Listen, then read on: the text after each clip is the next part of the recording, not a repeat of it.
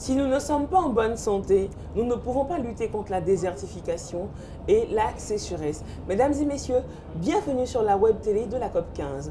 Pour vous, nous recevons ce jour M. Jean-Marie Vianney Yameogo, représentant résident de l'OMS, l'Organisation mondiale de la santé. Bienvenue sur notre plateau. Merci beaucoup. Merci d'avoir accepté de faire cette interview. Oui. Quel est le rôle de l'OMS euh, dans cette convention des parties Ok, merci.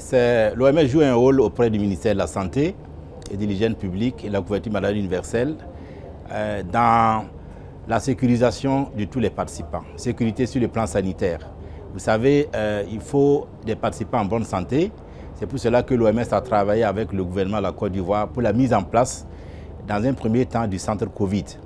Vous savez, tous les participants qui sont venus doivent valider un test et on doit s'assurer aussi que les espaces de rencontre, que ce soit les salles de conférence, que ce soit les petites salles d'interview, comme votre plateau ici, que tous ces espaces soient décontaminés. Et pour être pour décontaminer, il faut des produits homologués par l'OMS. C'est-à-dire on vient désinfecter après chaque session. Et il y a un rôle important que l'OMS a joué, c'est la gestion des déchets.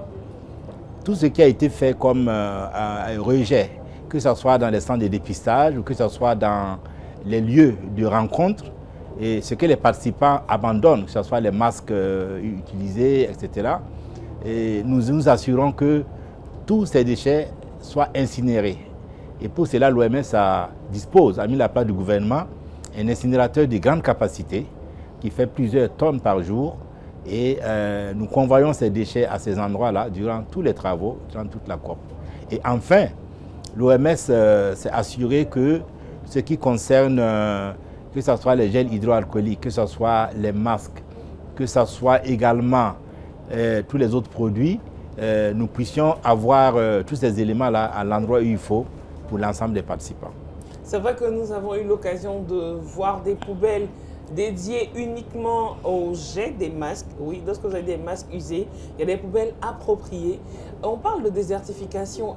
quel est le rôle de l'OMS justement euh, dans cette lutte contre la désertification?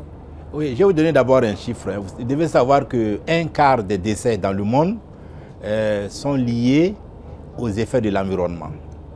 C'est énorme, 25%. Ça veut dire que euh, nous devons lutter contre tous ces facteurs qui affectent l'environnement. Dans un premier temps, l'OMS a appelé tous les pays à, à faire une entente, à s'entendre sur et ce que nous appelons la Convention santé et environnement.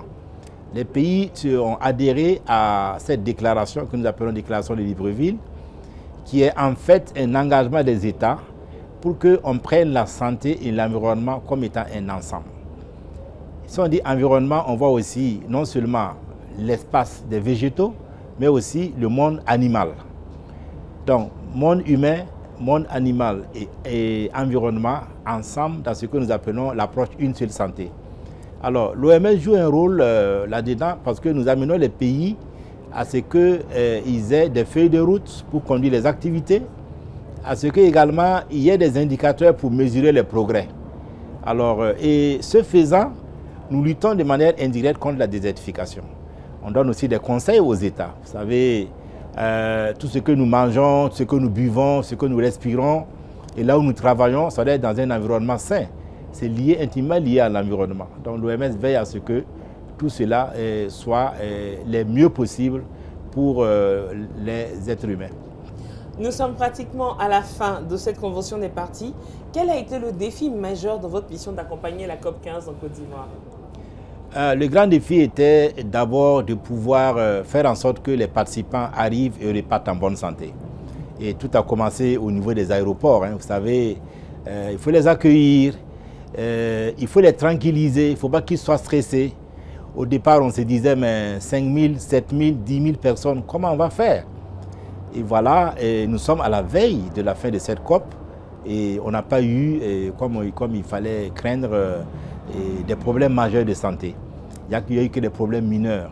Alors, c'était ça le défi, sécuriser, donner une sécurité sanitaire à tous les participants et également les faire repartir encore en bonne santé. C'est ce la dernière étape que nous allons entamer à partir de demain pour les accompagner chez eux, à ce qu'ils puissent embarquer étant toujours en bonne santé. Merci infiniment, chers téléspectateurs de la Web Télé.